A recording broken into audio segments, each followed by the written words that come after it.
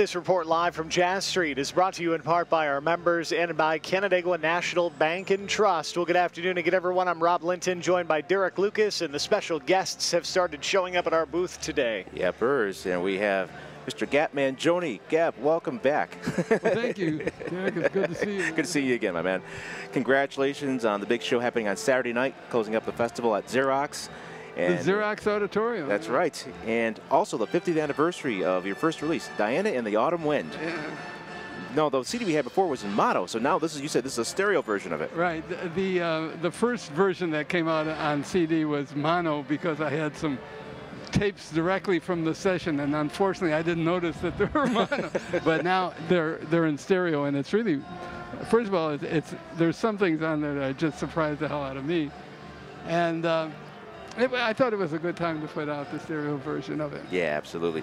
Speaking with Gap Mangione here on Jazz 90.1. So before that was the Xerox Auditorium. That used to be a that used to be a place that people played jazz once upon a time. Was the, the Xerox Auditorium? Yeah. Oh no, the Shakespeare was. That's right. The, okay, that was a different part of the building. Okay. In the very basement of the Xerox building, there was a restaurant area uh, with windows looking outdoors, and it surrounded what was at the time a huge ice skating rink. Okay. And uh, so it was on the other side of the building. But yes, we played the Xerox building a very long time ago. Speaking to Gap, Mangione. So Gap, talking about growing up here in the area, as well as the, I mean your career and what you've been able to do throughout it, 60 plus years and going strong. So for you, why have you stayed in Rochester? Because you could have had, you had many chances to leave, but you but you stayed. Well, we did. Uh, there was a time from about 19. 73 through about 1983 or so, 10 years worth, when uh, I, I really didn't play. I came back to Rochester when we weren't working, and right. we were playing elsewhere most of that time. Uh, we did some recordings for A&M Records. We did a bunch of things, but um, that was quite the reverse of what had been happening for, for ages, uh, where we'd be playing here and go out very occasionally for a special event. When I came back here, we um, played. We started playing at the Daisy Flour Mill in about 1980, uh, 83 or so. Right. So. Uh, then it, it, again reversed itself. So I was here most of the time, and we take a quick quick run out to other places.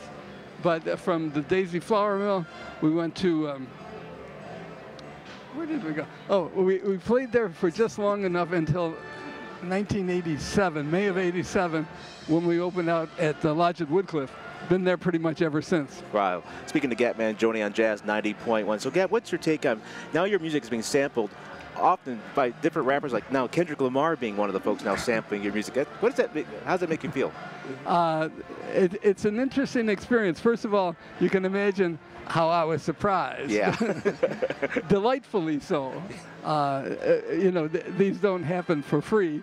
Uh, so that's that's a nice aspect of it. But you know, when we released initially released the Diana in the Autumn Wind album, I had 500 of them made. I still have some of them myself. Right. So how someone with this kind of mindset found it yeah. and then decided to use it in the variety of ways that it's been used, it astounds me. Uh, but I'm, I'm thrilled. I'm really happy with that. Awesome. Speaking to Gap Mangione here on Jazz 90.1, closing out this year's festival at the Xerox Auditorium. Gap, congratulations on all the amazing success and well, thank continue you. on. Thank you, and I truly invite you by on Saturday night to hear the new big band at the Xerox Auditorium. It's a great band. You'll love it. Absolutely. Gap, thanks so much again, man. Thank you.